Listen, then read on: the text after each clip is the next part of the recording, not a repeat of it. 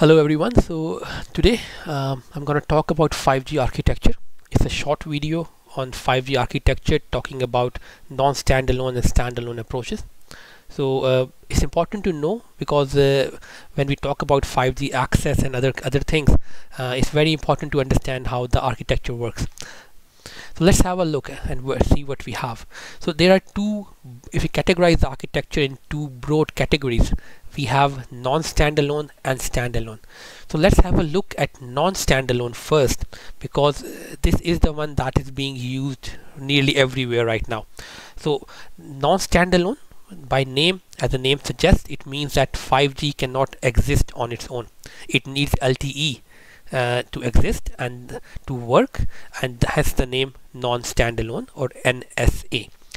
This is also called option 3x. Now let's see how it works.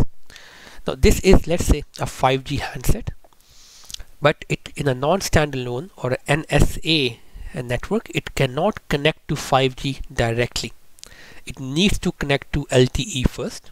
So the black line this one is the user plane the dotted line is the control plane so it will have both user plane and control plane on the LT with the LT air interface and then the LT air interface LT eNodeB B will have the connection to the LTE core using both the control and the user plane. Now this is how it will look like initially. Now once the node B finds out that the UE the handset is 5G capable then it will try to make sure that this user can also get 5G 5G traffic or 5G leg. Now let's see how it works. So first thing it does is that it needs to divert this user plane towards the 5G. So this is how it looks like. It is finished from here and then it is moved towards 5G. Now what will happen is that all any data that's coming from the core from the LT core will go to 5G. From 5G G node over the air it can go to the handset or it can go over X2 towards LTE eNodeB B and then go to the handset. So data path will be like this, either like this or following this this route.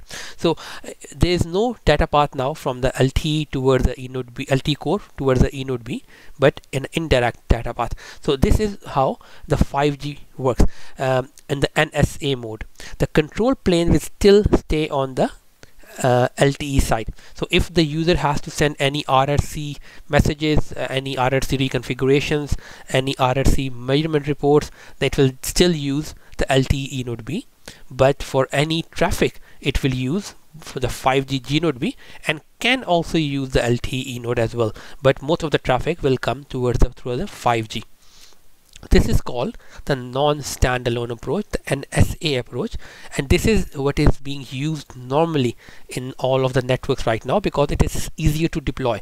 For this one you just need to put a 5G um, radio network 5G MMU, MMU or RRU or um, and massive MIMO unit or a radio head over here with LTE and you can start it. You don't need the whole 5G core element for this.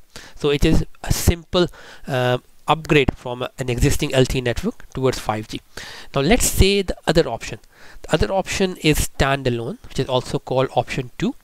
In this case, 5G can work on its own that and then 5G needs its own core. So uh, if you look at this portion, a, a LTE UE is connected to LTE.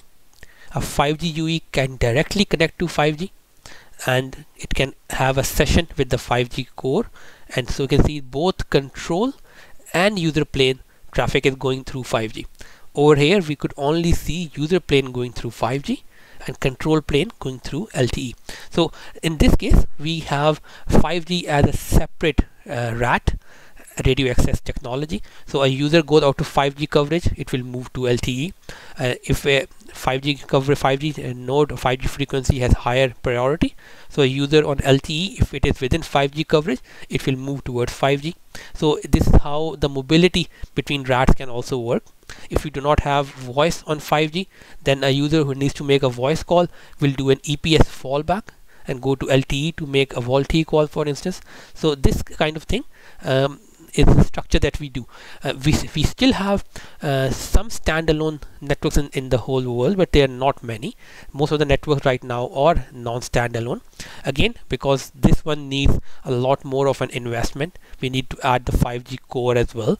And uh, also we need to have 5G standalone um, capable handsets which are not that many as well so uh, right now many of the networks are actually going towards this approach and then I think as with matter of with, uh, some time when there are more handsets and more handset penetration we will actually move towards all of, all of the networks will move towards the 5G core the 5G standalone approach.